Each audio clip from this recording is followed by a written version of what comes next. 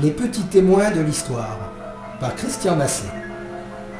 Imaginez des épisodes de l'histoire de France racontés par des animaux ou de jeunes enfants qui se trouvaient là.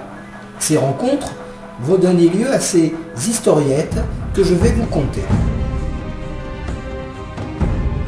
Le vase de Soissons, raconté par Croc d'Ivoire, le molosse. Je me nomme Croc d'Ivoire, je suis un molosse l'un de ces énormes chiens que les rois francs aimaient avoir autour d'eux, manifestation d'une force brutale qui est le pilier de la hiérarchie dans ces peuples. Je suis élevé et dressé par Ungaric, maître du chenil de Clovis, ce roi des Francs saliens, habitant l'actuelle Belgique, après avoir unifié ce peuple en triomphant des Francs ripuaires, tribus des bords du Rhin, cherche encore à étendre sa domination. À cette époque, l'Empire romain a éclaté sous les coups de boutoir des grandes invasions et les divers peuples germains se sont taillés des royaumes dans les lambeaux de la Gaule romaine. Si les Francs occupent le nord de la France, il faut savoir que les Burgondes occupent l'actuelle Bourgogne et le couloir rhodanien, pratiquement jusqu'à la Provence. De leur côté, les Wisigoths contrôlent un territoire allant de Poitiers aux Pyrénées, avec comme capitale Bordeaux et Toulouse. Le seul territoire restant romain se situe dans l'actuelle Picardie, l'île de France, la Normandie, le Val-de-Loire et la Champagne. Là règne un général romain, Siagrius, qui s'est institué roi de ce territoire. Jouxtant les terres de Clovis, c'est contre celui-ci que le roi franc va se tourner en premier. Il faut savoir qu'à cette époque, le clergé chrétien désire soutenir ce roi. Attention, hein c'est pas un modèle de vertu. Il est cruel, avide de richesse, ambitieux comme les hommes de cette époque. Mais l'Église désire former un contre-pouvoir à celui de ces damnés Wisigoths qui possèdent un tiers de la Gaule et s'étendent vers l'Espagne. Ceux-ci ont adopté la foi chrétienne, mais entachée d'une doctrine, l'arianisme, comme ils disent, que le pape qualifie d'hérésie.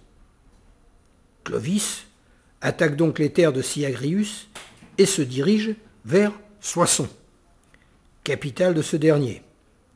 Sur son chemin, le pillage et les attaques vont bon train.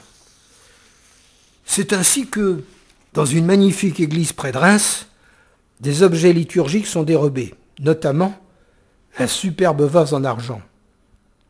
L'ensemble du butin est amené à Soissons, enfin conquise, pour le partage. L'évêque Rémy, qui dirige le diocèse de Reims, envoya un émissaire à Clovis pour lui demander qu'à défaut des autres prises, il lui restitua au moins cet objet auquel il tenait précieusement. Le roi invita l'homme à le suivre jusqu'à Soissons, où devait avoir lieu le partage du butin, en l'assurant que dès que le vase lui serait échu, il donnerait satisfaction à l'évêque. À cette époque, et dans les armées des peuples barbares, le butin représentait la quasi-totalité de la solde des guerriers. Les richesses étaient tirées au sort avec, obligatoirement, une partie équivalente à un cinquième pour le chef. Clovis espérait que le vase ferait partie de sa part et qu'il pourrait alors le rendre à l'évêque de Reims. Mais alors, hélas, celui-ci n'y figurait pas. Il demanda alors à ce que cette pièce lui soit octroyée les guerriers, dans leur presque totalité, acceptèrent, compte tenu du prestige de Clovis.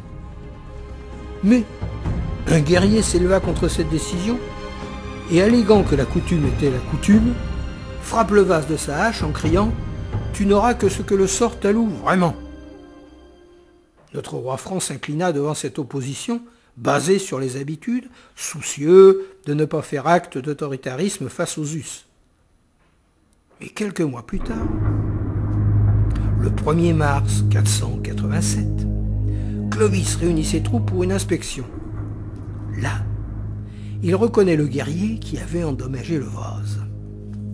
Ayant remarqué que ses armes étaient mal tenues, il se planta devant lui et lui arrachant sa hache, la jeta à terre. Alors que l'homme se penchait pour la ramasser, Clovis sortit sa francisque, cette hache des francs à deux tranchants, et lui fendit le crâne en criant Ainsi as-tu fait au vase de Soissons.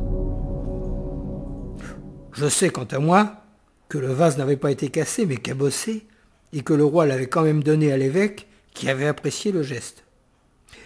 Il paraît que ce dernier aurait donné des instructions pour qu'à sa mort, le vase soit fondu pour en faire des objets d'église destinés à embellir l'autel de la cathédrale de Reims. En tout cas, mon maître Clovis a montré qu'il ne fallait pas le défier et que dans un monde où la force régnait, il était de bon ton de se faire respecter par ses inférieurs. Ce n'est pas moi, dog imposant, qui le contredirait. Essayez un peu de me disputer mon écuelle.